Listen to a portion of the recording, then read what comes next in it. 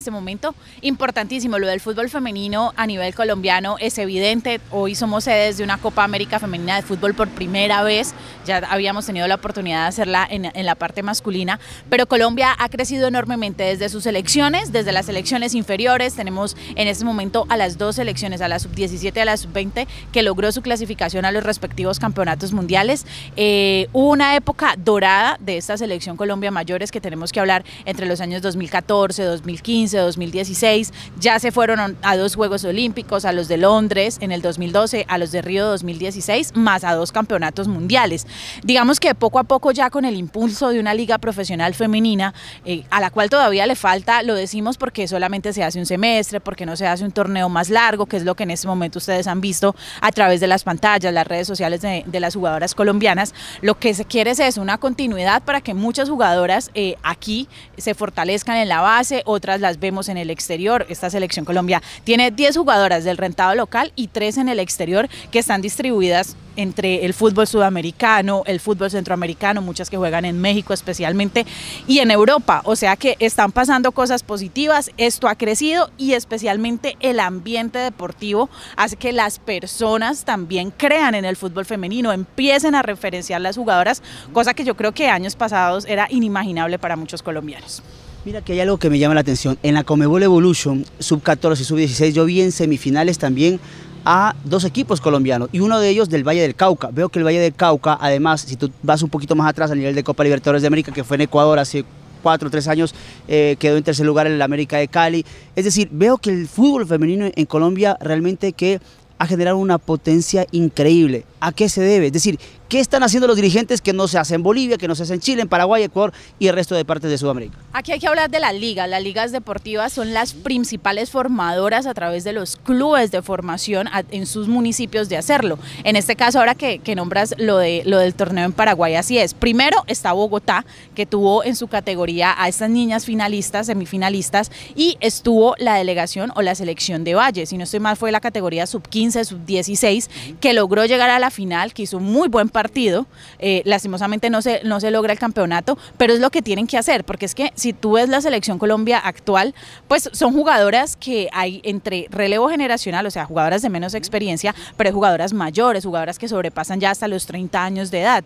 O sea que estamos hablando de que pueden ir hasta París 2024, dado el caso que se clasifiquen a los Juegos Panamericanos del 2023, pero bueno, y que hay que hay abajo. Entonces viene el trabajo de base y eso depende directamente de los departamentos, no depende eh, eh, tan solo de la Federación Colombiana de Fútbol, sino también de sus ligas y es lo que pasó precisamente con estas niñas que ustedes eh, me están mencionando y son muchas de las niñas que también lograron su clasificación hace poco a los dos campeonatos que referenciaba, al sub-17 y al sub-20. Es decir, y yo veo que el Valle del Cauca o el departamento del Valle está un poco un pasito más adelante, lo siento así, lo veo así, ¿tú tienes esa misma sensación? Pues sin ser regionalistas, somos de Santiago de Cali, vivimos el fútbol femenino a nivel nacional, pero acabamos de vivir una final vallecaucana caleña, o sea, vivimos el tradicional clásico que vemos en, los hombres entre Deportivo Cali y América lo vivimos nosotros. O sea, es decir, de los seis títulos que tenemos en este instante o los seis títulos profesionales que se han disputado en nuestro país en el rentado local,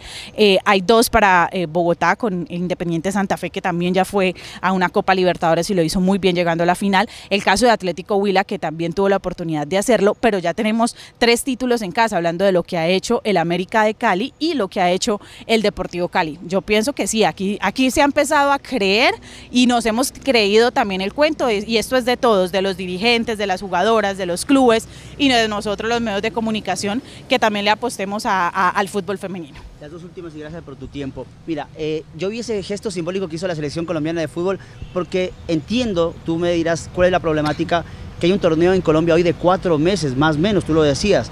¿Qué es lo que pasa? ¿Habrá un torneo de mayor eh, dilatación en tiempo se va a mantener los cuatro meses. ¿Qué es lo que está pasando en la Liga Mayor? Bueno, eh, normalmente se ha hecho un solo campeonato por el año, un solo semestre, campeonatos muy cortos, tú lo referenciabas. Acabamos de vivir el, el que eh, te mencionaba, donde el América de Cali se hizo con el campeonato. El año pasado fue en el segundo semestre, en el primer semestre no tuvimos liga. En el año pasado fue Deportivo Cali eh, el, el campeón, si no estoy mal, fue en el mes de septiembre. Entonces, ¿qué piden las chicas? Que les habían prometido o se había dicho que iba a haber torneo en el segundo semestre. Les avisan en plena Copa América, en este furor que estamos viviendo en Cali, que estamos viviendo también en la ciudad de Armenia, en el otro grupo, en el grupo B. Mire, es que ya no va a haber fútbol, ya no va a haber liga profesional porque hay muy pocos grupos. Pero eh, al parecer, y esto con el tema de la protesta de ese día, con lo que pasó en el Pascual Guerrero en el partido inaugural entre la selección eh, colombiana y de Paraguay, y al parecer van a revisar el tema y ver qué equipos, porque esto también depende de los equipos profesionales, porque son ellos los que mantienen y sostienen a, los clubes y en este caso al equipo femenino, es decir, el Independiente Santa Fe, Millonarios, Medellín, Atlético Nacional, tienen sus divisiones inferiores, tienen su equipo profesional masculino y ahora tienen su equipo profesional femenino. Y buscar el apoyo eh, de la empresa privada, que yo creo que es fundamental, pues todo no puede ser del sector público. El Ministerio del Deporte está dando una plata, hablo por Cali, eh, actualmente aquí en la capital Vallecaucana, la alcaldía municipal también ha dicho, yo pongo 500 millones de pesos y ustedes empiezan no solo para los equipos profesionales, sino para lo que hablábamos ahora, que es la formación.